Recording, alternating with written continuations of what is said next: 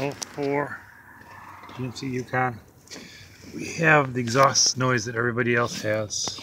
In the back, we're trying to do the best we can with this stupid little camera, but the exhaust bolt is broke. Back there, it's missing. There you can kind of see it. There's a head right there. There's not a head there, so we're lucky. So, quiet it down, we just went with the cheaper kit. This is actually made in USA. Um, exhaust manifold repair. It's driver's rear, passenger front, because the cylinder heads are the same when you reverse them. And this is a 6.0 and 5.3s, 4.8s, all the same block, pretty much. And it says just make sure the bolt is broken below the manifold, not the cylinder gasket. There you go. You can pause it and read it. Just take it out.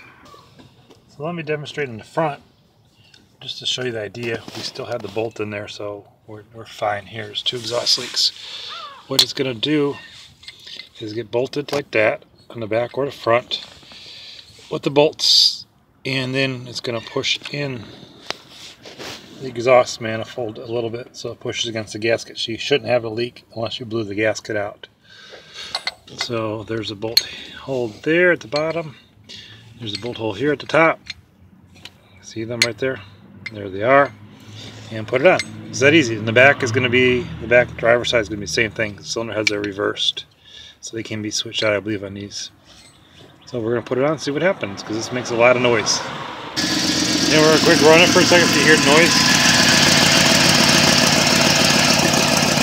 The exhaust leak in there.